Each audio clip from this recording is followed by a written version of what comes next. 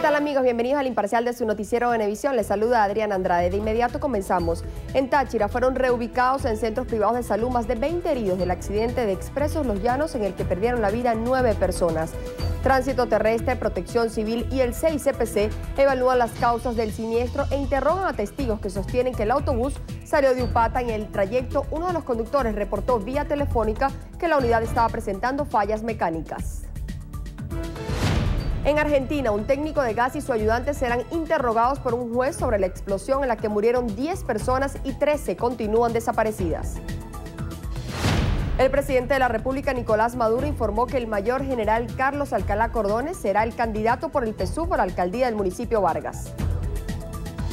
El concejal metropolitano Andrés Bello anuncia su candidatura a la alcaldía metropolitana de Caracas.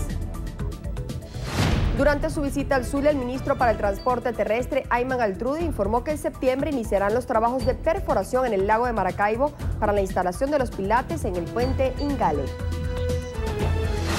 Fede Cámaras no considera una buena noticia la disminución del índice de inflación que refleja el Banco Central de Venezuela en su último boletín, donde indica que bajó 4.7% a 3.2% este mes.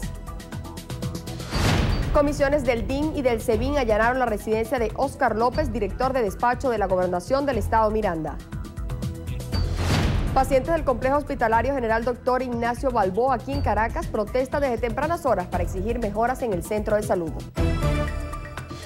En información internacional, el presidente de Estados Unidos, Barack Obama, canceló una reunión bilateral con su homólogo ruso, Vladimir Putin, por las tensiones que generó la concesión de asilo temporal a Edward Snowden.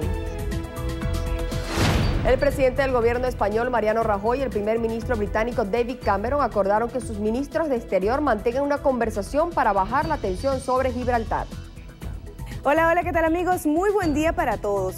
Rumbo al Miss Venezuela Mundo 2013, hoy en Estrenos y Estrellas conoceremos a cuatro de las candidatas que compiten por convertirse en la sucesora de Gabriela Ferrari, mientras que el venezolano Juan Pablo Galaviz será la estrella de la próxima temporada del reality show estadounidense The Bachelor. Ya lo saben, todos los detalles aquí en Estrenos Estrellas, no se muevan.